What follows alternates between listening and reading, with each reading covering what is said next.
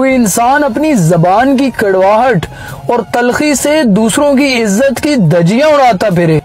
उनको जहनी मरीज़ बना दे, उनकी ज़िंदगी अजाब बना दे। और फिर ये कहा जाए, दिल का बुरा नहीं है? तो ऐसे दिल के अच्छे होने का क्या करें हम? एक बात याद रखिए, इंसान की जबान उसके जहन और उसकी सोच की अक्सी करती है। ये जिन लोगों के बाद में पापा नहीं मानते ना या जिनकी मामा जात बिरादरी के बाहर शादी की इजाज़त नहीं देती। ये वीडियो उनके लिए है। मंजिलें अलग हों तो रास्ते भी अलग रखने चाहिए। मंजिल अगर जुदा हो तो झूठी तसलियाँ देकर वक्त गुजारी करने की बजाय हकीकत को कबूल कर लेना चाहिए और किसी दूसरे इंसान की ज़िंदगी बर्बाद होने से बचा लेनी चाहिए।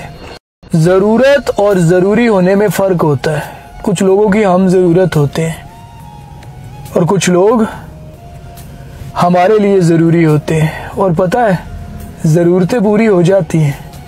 लेकिन कुछ लोग हमारी ज़िंदगी के लिए ज़रूरी होते हैं। इसलिए ज़रूरत नहीं, ज़रूरी बनिए। मोहब्बत झूठी या सच्ची नहीं होती। मोहब्बत होती है या फिर नहीं होती। झूठे सच्चे तो सिर्फ़ इंसान होते हैं।